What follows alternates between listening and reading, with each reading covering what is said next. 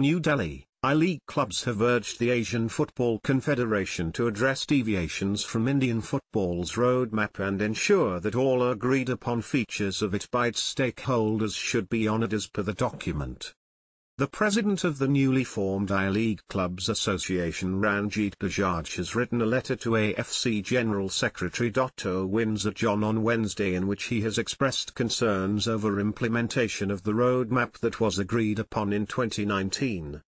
In the letter, a copy of which is with News 9 Sports, Bajaj has highlighted how I-League clubs were relegated to the second division overnight and spots reserved for them for AFC competitions were stripped and handed over on a platter to the Indian Super League.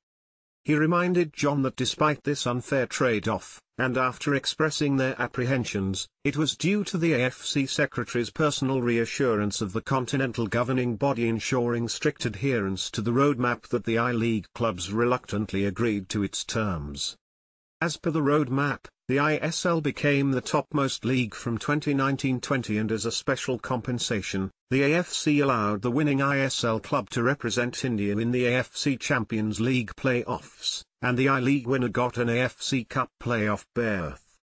The roadmap also open a pathway for two I-League clubs entry into the ISL by the end of the 2020-21 season, subject to the criteria being fulfilled.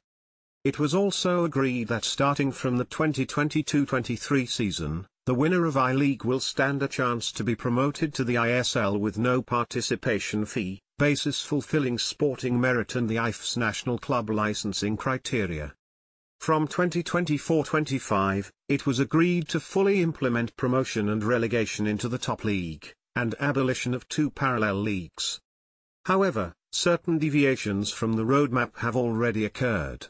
For instance, the AFC Cup playoff spot has been allocated to the winner of the Super Cup, contrary to the agreed-upon allocation to winner of I-League, Bajaj pointed out.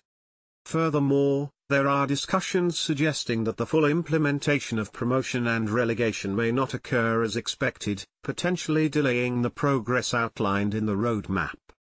Following AIFF President Kalyan Chaube's advocating exemption of relegation citing a purported exalted gap between the top-flight ISL and the second division I-League, I-clubs had engaged in a meeting with the Federation's acting General Secretary M. Satyanarayan on April 20 in Bengaluru and had then shot off a letter expressing their concerns. The AIFF have promised to hold a meeting to address their concerns later this month. They have aired their concerns. We will now deliberate over them in our meetings. Let's see how much of what the clubs have raised could be addressed, Satyanarayan told News 9 Sports on May 1.